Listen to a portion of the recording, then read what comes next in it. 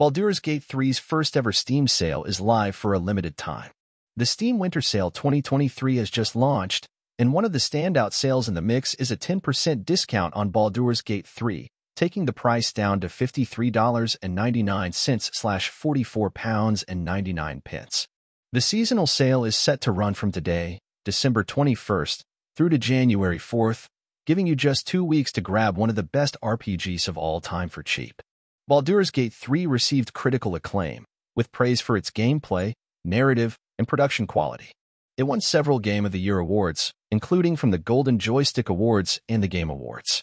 Baldur's Gate 3 became the best-selling game on both Steam and GOG.com on the day of its early access launch. On Steam, the game had about 537,000 concurrent players on release day and peaked at 875,000 two weeks after release. Baldur's Gate 3 sold more than 2.5 million copies during its early access phase. Sales surpassed Larian's expectations, as well as those of Microsoft when considering the Xbox release.